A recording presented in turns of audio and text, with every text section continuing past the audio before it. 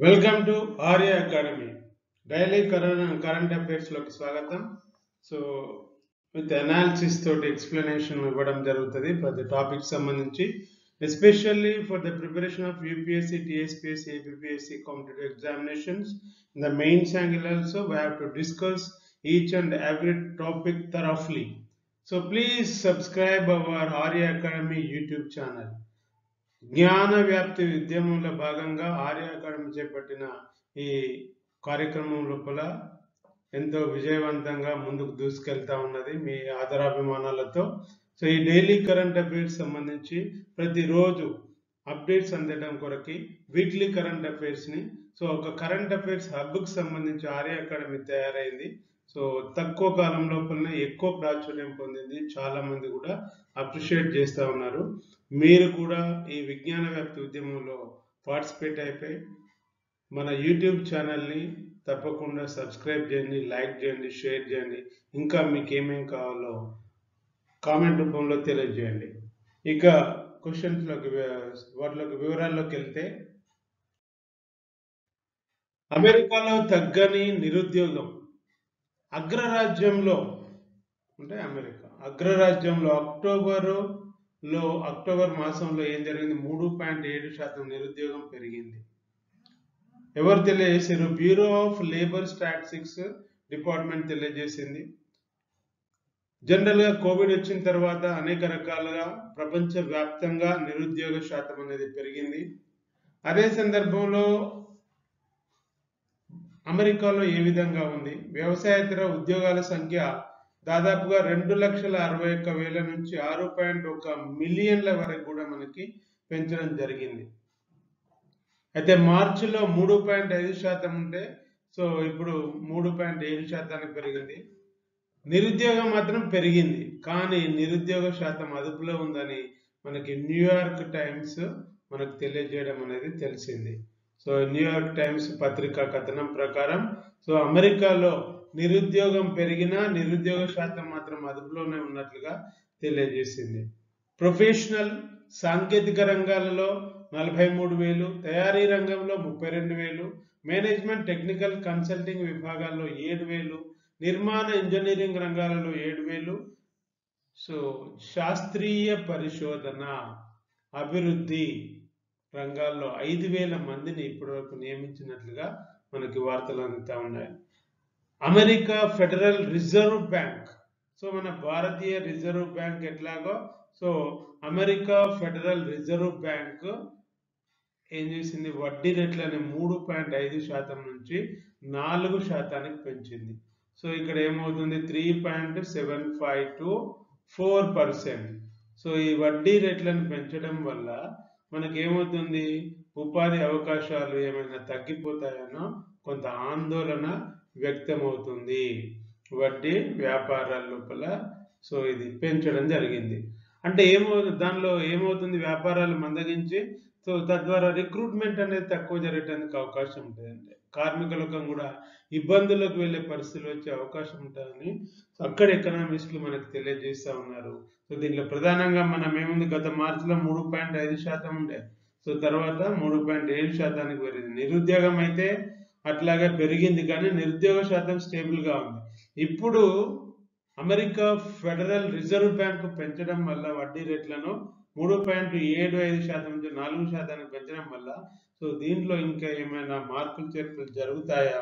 ఇంకా కార్మిక లోపం లోకం ఇబ్బంది పడే అవకాశాలు ఉంటాయని అమెరికాకు సంబంధించిన ఆర్థిక నిపుణులు అంచనా వేస్తున్నారు. ఎందుకు మరి అంతగానం చేయాలని అంటే అమెరికా తుమ్మితే మొత్తం ప్రపంచం అంతా కూడా తుమ్మే పరిస్థితులు ఉంటాయి.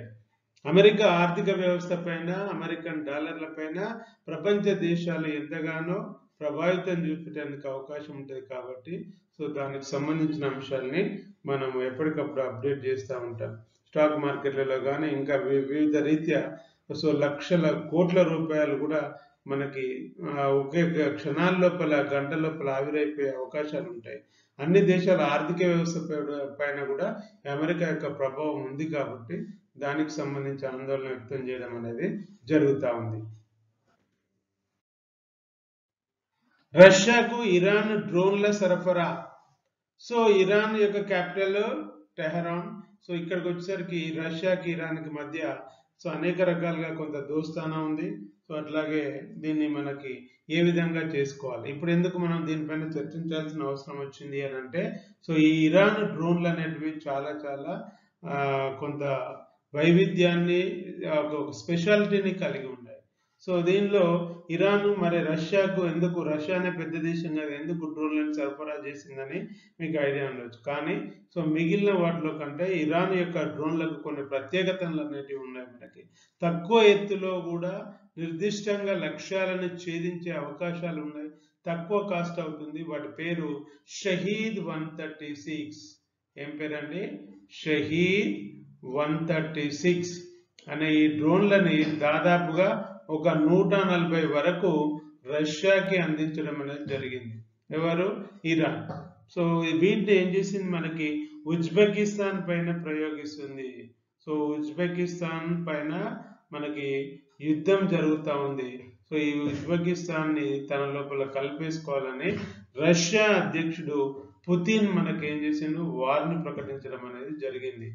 ప్రపంచ దేశాల హెచ్చరికలను బేఖాతర్ బేఖారు బేఖాతరు చేస్తూ సో వ్లాదిమిర్ పుతిన్ రష్యా అధ్యక్షుడు ఉజ్బెకిస్తాన్ పైన ప్రారంభించిన ఈ వార్ అనేది మనకి దాంట్లో ఈ షహీద్ వన్ థర్టీ సిక్స్ డ్రోన్లను కూడా రష్యా ఉపయోగించింది. మొదట బుకాయించారు ఐక్యరాజ్య సమితిలో కూడా ఇరాన్ యొక్క రాయబారి ఏమన్నాడు? సో మేము వీటిని అమ్మలేదు ప్రకటించలేదు మాకు తెలియదు అన్నాడు. తర్వాత నిన్ననే మనకేం జరిగింది? రష్యాకు ఇరాన్ డ్రోన్లను సరఫరా చేసినామో అని ఆ ఇరాన్ యొక్క విదేశాంగ శాఖ మంత్రి హుసేన్ అమీర్ అబ్దుల్లా హియాన్ మనకు వెల్లడించడం అనేది జరిగింది. సో వీటిని రష్యా ఉక్రెయిన్ పైన ఉపయోగిస్తుందని జెలెన్స్కీ సో ఉక్రెయిన్ ఉజ్బెకిస్తాన్ కాదు ఉక్రెయిన్. సో ఈ ఉక్రెయిన్ పైన మనకి ఈ అధ్యక్షుడు ఎవరు? ఉక్రెయిన్ యొక్క అధ్యక్షుడు ఉక్రెయిన్. అవన్నీ కూడా సరౌండింగ్ లోపల ఉంటాయి. ఉజ్బెకిస్తాన్ తజకిస్తాన్ సో ఇట్లాంటి అన్ని ఇవన్నీ కూడా గతం లోపల యుఎస్ఎస్ఆర్లో యుఎస్ఎస్ఆర్లో భాగస్వామ్యంగానే ఉండేది. కానీ తర్వాత నైన్టీ వన్ తర్వాత యుఎస్ఎస్ఆర్ విచ్ఛిన్నం అయిపోయి రష్యా ఏర్పడిన తర్వాత మనకి దాని లోపల కొన్ని ఉన్నాయి. అయితే ఈ ఉజ్బెకిస్తాన్ ఉక్రెయిన్ లోపల మాత్రము మనకి అమెరికాకి మిగిలిన పాశ్చాత్య దేశాలకి ఫేవర్గా ఉంది యూరోపియన్ కంట్రీస్ కన్న ఉద్దేశంతో సో వాళ్ళు వార్ అనేది స్టార్ట్ చేసిండ్రు. అక్కడ అమెరికా కానీ నాటో కానీ అట్లాంటి ఉక్రెయిన్ లోపల ఉంటే మా యొక్క దేశ సమగ్రతకి భద్రతకి ముప్పు వాటిల్లుతున్న ఉద్దేశంతో వ్లాదిమిర్ పుతిన్ రష్యా అధ్యక్షుడు దానిపైన అటాక్ చేసి దాన్ని ఆక్రమించుకునే ప్రయత్నాలు అనేవి జరుగుతున్నాయి. తొలుత ఈజీగానే దాన్ని మనం అటాక్ చేయొచ్చు ఈజీగా కలిపేసుకోవచ్చు అనుకున్నారు. కానీ సో అది దాదాపుగా సుదీర్ఘకాలంగా ఉద్యమం అనేది జరుగుతూ ఉంది. ఉక్రెయిన్కి సంబంధించి కూడా దాని వెనుక కూడా ఈ యూరప్ కంట్రీస్ అలాగే అమెరికా కానీ ఉన్నాయి. వాళ్ళకి సరఫరా చేస్తున్న అన్ని రకాలుగా అనేది కూడా మనకు వార్తలు అందుతూ ఉన్నాయి.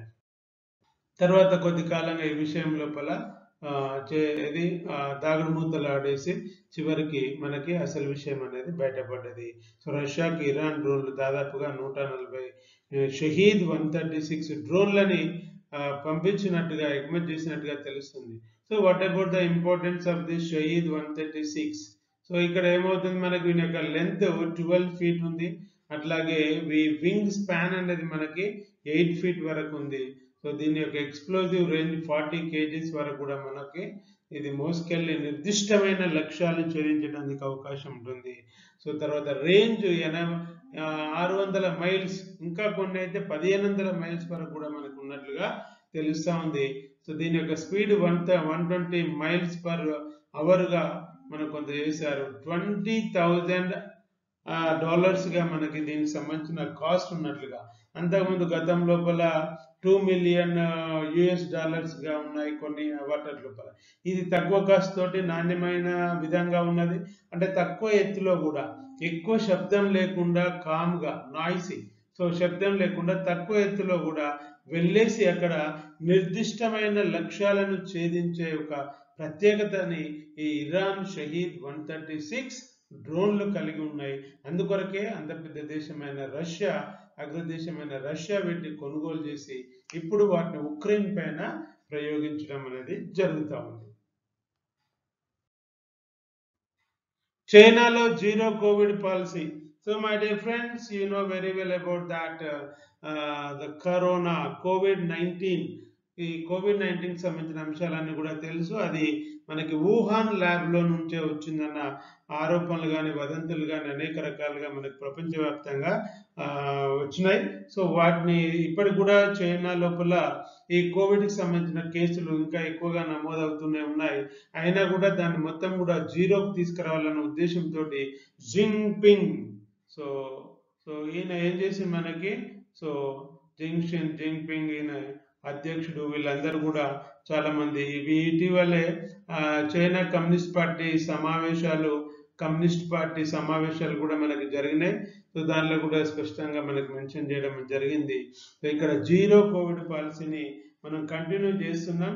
సో ఎన్ని రకాలుగా ఆర్థిక వ్యవస్థ కొంచెము ఒడిదుడుకులకు లోనవుతున్నా ఇతరత్ర కష్టాలు ఉన్నా కూడా అనేక అడ్డంకులు ఉన్నా కూడా ఈ జీరో కోవిడ్ పాలసీని తప్పనిసరిగా అమలు చేశామని చైనా స్పష్టంగా ప్రకటించడం జరిగింది. సో దానిలో భాగంగా మనకి ప్రజల లోపల అసంతృప్తి పెరుగుతున్నా కూడా అదే తీరు కొనసాగించడం అనేది ఇక్కడ గమనార్హం. ప్రయాణాలపైన ఆంక్షలు విధించింది కొనసాగించింది. ఇంకా అక్కడక్కడ క్వారంటైన్లు లాక్డౌన్లు అనేవి జరుగుతూనే ఉన్నాయి.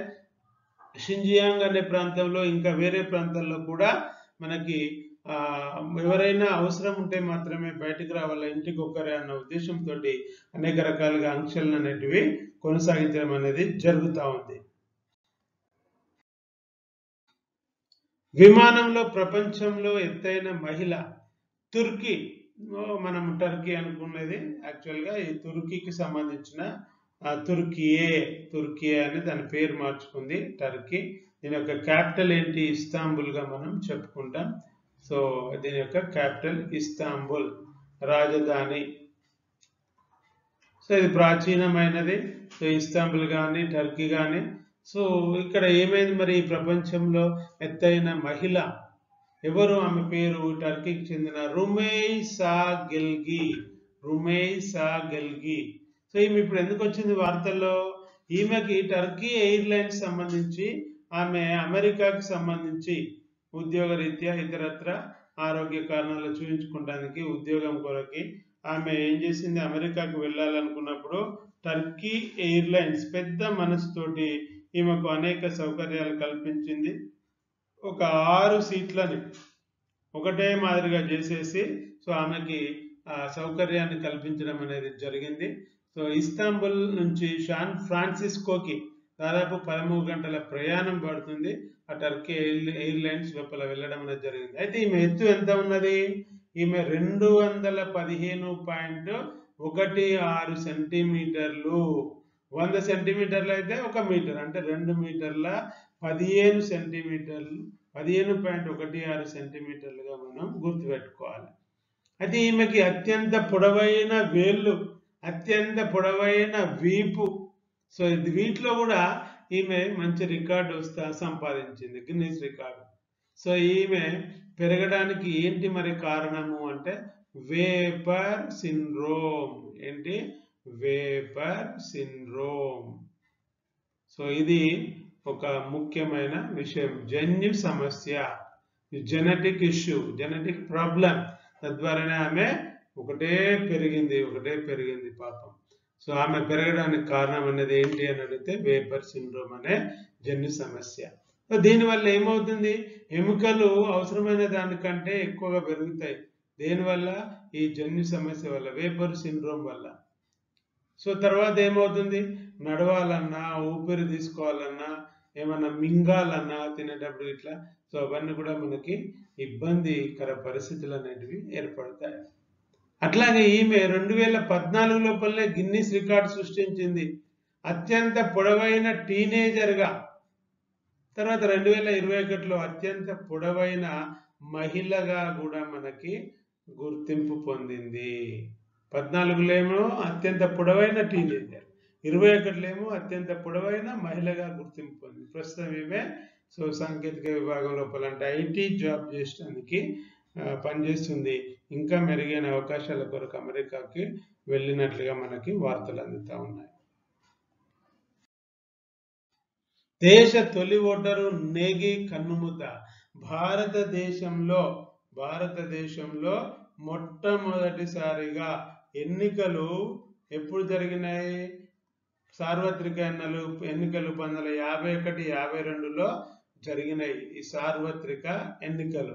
అప్పటి నుండి ఇప్పటి వరకు కూడా మనకి కంటిన్యూస్గా మనకి ఎన్నికలు జరుగుతూనే ఉన్నాయి. సో ఈ సార్వత్రిక ఎన్నికల లోపల భారతదేశంలో స్వాతంత్రం వచ్చిన తర్వాత మనం రాజ్యాంగం రాసుకున్నాం. రాజ్యాంగం రాసుకున్న తర్వాత మనం ఎన్నికల్ని నిర్వహించుకున్నాం. ప్రజాస్వామ్యబద్ధంగా ఎన్నికల్ని నిర్వహించుకున్నాం. వాటిని మనం సార్వత్రిక ఎన్నికలు జనరల్ ఎలక్షన్స్ అని అంటాం. ఈ జనరల్ ఎలక్షన్ జరిగినప్పుడు దేశంలోనే మొట్టమొదటిసారిగా ఫస్ట్ ఓటర్ మొట్టమొదటిసారిగా ఓటేసింది ఎవరు అని అంటే శ్యామ్ శరాన్ నేగి. శ్యామ్ శరాన్ నేగి. సో ఈయన నూట ఆరు సంవత్సరాలు పాపం ఈయనకి ఈయన చనిపోయాడు. ఈయన ఏ ప్రాంతానికి ఏ రాష్ట్రానికి సంబంధించిన వాడు హిమాచల్ ప్రదేశ్లోని కిన్నౌర్. కిన్నౌర్ అనే ప్రాంతానికి సంబంధించిన వాడు సో ఈయన చనిపోయినందుకు సో కేంద్ర ఎన్నికల సంఘం కూడా తీవ్ర విచారాన్ని వ్యక్తం చేసింది సంతాపాన్ని వ్యక్తం చేసింది. దేశ ప్రజలందరూ కూడా మహా నాయకులు కూడా ఈయనే ఎన్నికల సంఘం యొక్క ప్రచారకర్తగా కూడా మనకి ఉండడం అనేది జరిగింది. ప్రజాస్వామ్యము బలోపేతం కావాలి భారత సమాజము పరిపుష్టం కావాలని తన చివరి శ్వాస వరకు కూడా ఈయన ప్రజాస్వామ్య ప్రక్రియను బలోపేతం చేయడం కొరకి శ్యామ్ శరాన్ నేగి కృషి చేయడం అనేది జరిగింది. సో దీనిలో భాగంగా ఇప్పుడు హిమాచల్ ప్రదేశ్ లోపల కూడా ఎన్నికలు ఉన్నాయి సో అంత వయో ప- పరిమితి అంటే వయో సమస్యల వల్ల నేను రాలేను కాబట్టి నాకు ఏంటి ఆ, పోలం బ్యాలెట్ బ్యాలెట్ అక్కడికి రాలేను కాబట్టి పోస్టల్ ఓటు నాకు కావాలని ఆయన అప్లై చేసుకోవడం కూడా జరిగింది. హిమాచల్ ప్రదేశ్ ఎన్నికల్లో అవి ఓటు వేయకుండానే చనిపోవడం అనేది విచారకరం. తన జీవిత కాలంలో ఇప్పటివరకు ఆయన మొత్తము ఎన్నిసార్లు వేసిందో ముప్పై నాలుగు సార్లు ఆయన యొక్క ఓటు హక్కును వినియోగించుకొని ఈ భారతదేశ ప్రజాస్వామ్యానికి ఒక కొత్త ఒరవడిని ఒక మంచి సందేశాన్ని ఇవ్వడం అనేది విశేషం. చైనా నిఘా నౌక ప్రభావం ఇండియన్ మిసైల్ టెస్ట్ వాయిదా. సో భారత అంతరిక్ష అంతరిక్షంలో సారీ భారత క్షిపణి ప్రయోగం. భారత క్షిపణి మిసైల్ అంటే ఏంటి? క్షిపణి. ఈ క్షిపణి ప్రయోగం అనేది నవంబర్ లెవెన్త్న మనకి చేయాలనుకున్నారు టెన్త్ ఆర్ లెవెన్త్న. సో కానీ దానికి సంబంధించిన నోటును కూడా జారీ చేసారు నోటం అంటాం. ఈ నోటాన్ని కూడా. సో ఇక్కడ నోటు ఎయిర్. సో ఇక్కడ ఏమవుతుంది? నోటంని కూడా జారీ చేసిండ్రు. మరి ఏం జరిగింది ఈ లోపాలని ఎక్కడి నుండి చేయాలనుకున్నారు అంటే ఒడిశా రాష్ట్రంలోని అబ్దుల్ కలాం దీవి. ఏం దీవి? అబ్దుల్ కలాం దీవి నుంచి మనకి ఈ క్షిపణిని మిస్సైల్ ప్రయోగించాలని భారత్ నిర్ణయించింది.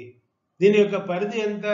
దాదాపుగా రెండు వేల రెండు వందల కిలోమీటర్ల వరకు దీని యొక్క పరిధి ఉంటుంది. ఏది? ఇప్పుడు ప్రయోగించబోయే మిస్సైల్ యొక్క పరిధి. అంటే అప్పుడు మనకి ఏమవుతుంది సో చాలా సుదూరమైన లక్ష్యాలను కూడా ఛేదించడానికి అవకాశం ఉంటుంది. ఖండాంతర క్షిపణిగా కూడా మనం చెప్పుకోవచ్చు.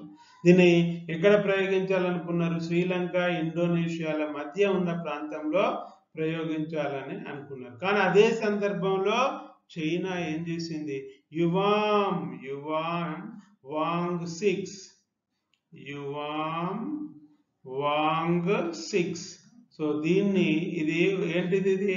ఒక గస్తీ నౌక మాదిరిగా అంటే ఒక నిఘా నిఘా నౌకగా మనం చెప్పుకుంటాం. సో ఇక్కడ మనకి ఏమైపోయింది ఇదంతా కూడా కామన్ ఏం లేదన్నారు కానీ సో అది ఏం చేసింది? చైనా సో హిందూ మహాసముద్రంలోకి దీన్ని ప్రవేశింపజేయడం అనేది జరిగింది. ఇది ఒక పరిశోధన నౌక అని జనరల్గా చెప్తున్నారు.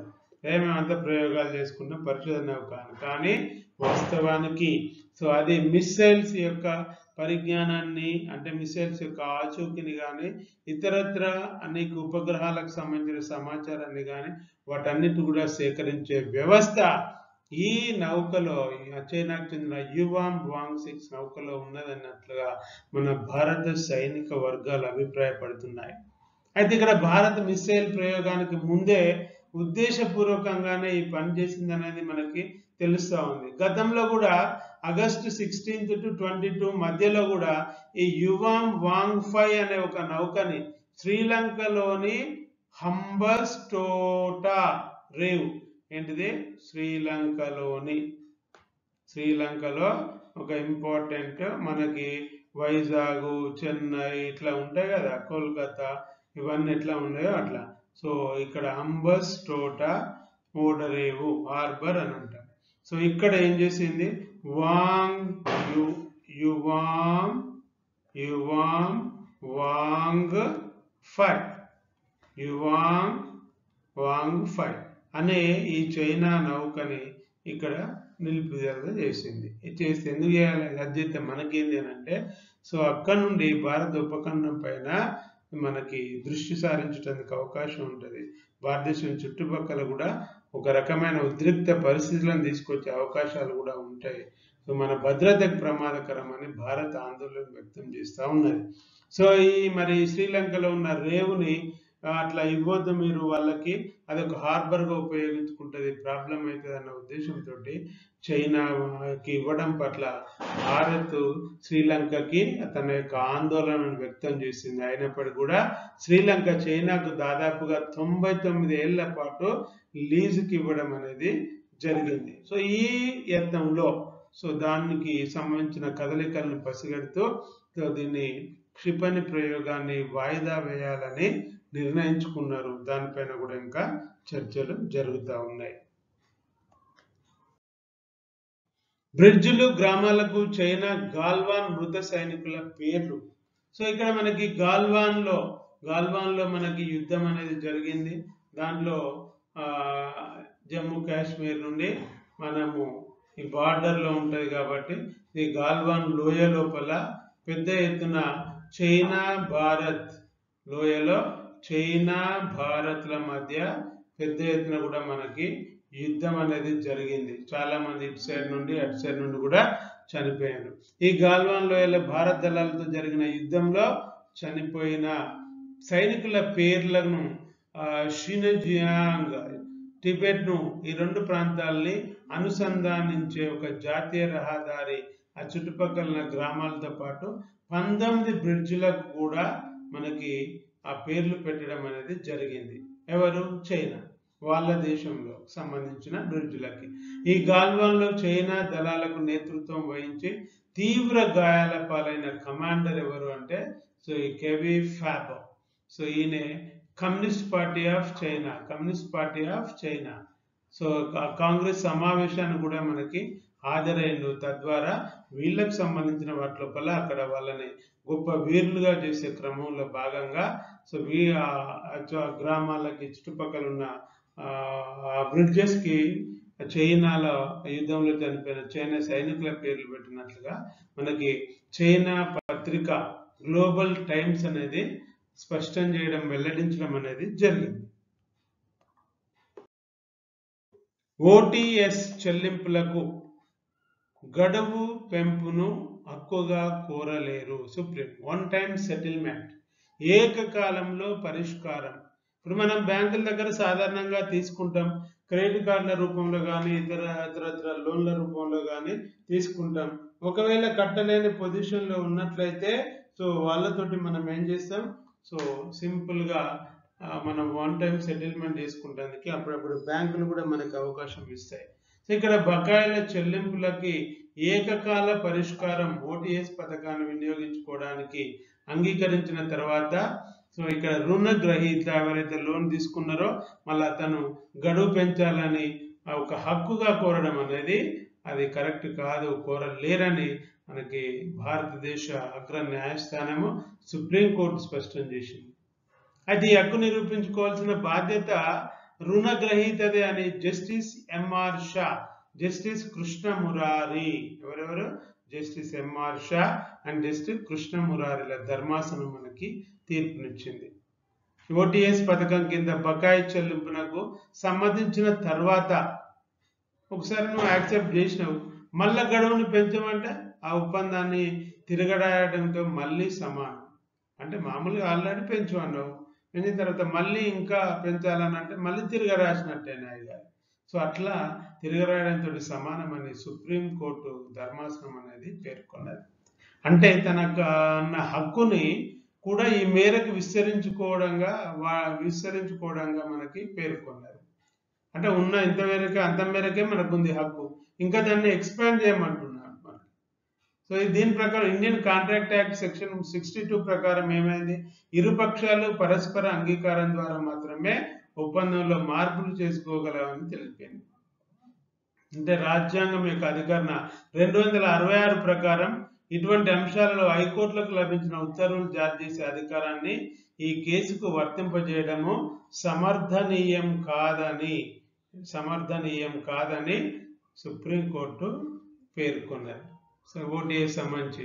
మనకి దీనికి సంబంధించి కూడా ఏం చేసారు ఈ హర్యానా పంజాబ్లకు సంబంధించిన ఒక కేసు ఫైల్ అయింది. దానికి సంబంధించి ఎస్బీఐ కూడా దీనికి సంబంధించిన కేసులో ఇన్వాల్వ్ జరిగింది. దానిపైన సుప్రీంకోర్టు స్పందించడం అనేది జరిగింది.